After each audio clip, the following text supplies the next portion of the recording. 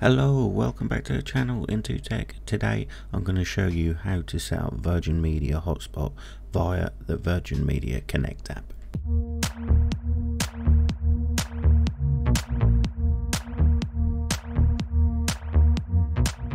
Right, so the first thing we need to do is open the Virgin Media Connect app, click on Hotspots at the bottom. When the tab appears tell new profile not installed, click on Learn More, then Get Set for Wi-Fi Hotspot.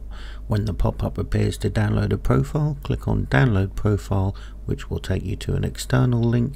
Hit Continue, allow the pop-up to download the profile, then once the profile has downloaded, close the application and return to the main menu. Back on the main menu, click Settings, then underneath your Apple ID, that'll say Profiles Downloaded. Click on the profile you just downloaded, which will be a Liberty Global configuration, then hit Install in the top right hand corner.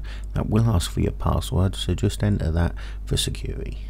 Now that you've successfully installed the profile, click Done and then return to the Virgin Connect app.